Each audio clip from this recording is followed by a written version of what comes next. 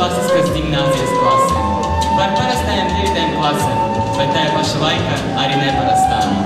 Jo gandrīz simts meitiņu un ziemu, jo gandrīz simts meitiņu un ziemu, mācās nevis parastajā skolā, bet klasiskā gimnāzija.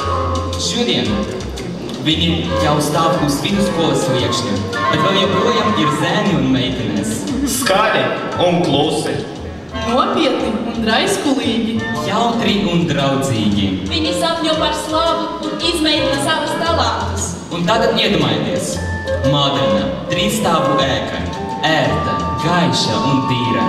Garderobes, zīmēšanas un rokdarbu klases pašā apakšā. Pirmais stāvs, atslēgas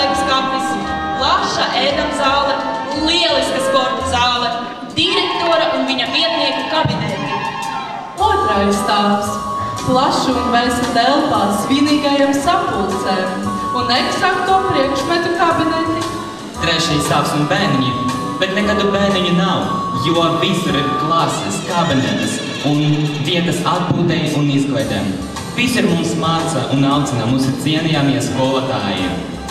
Visi viņi ir dažādi un pilnīgi atšķirīgi. Vai stāvi?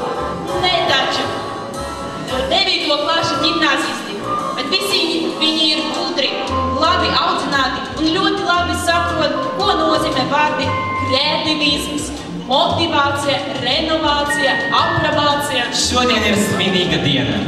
Viņi saņem apliecības par pamatizglītību. Cienījamie viesi, aicinām jūs ciemos pie mūsu gimnāzistiem.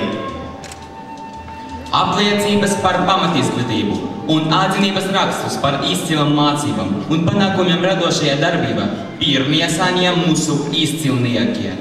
Apliecības pasniedz gimnāzijas direktors Romans Alievs.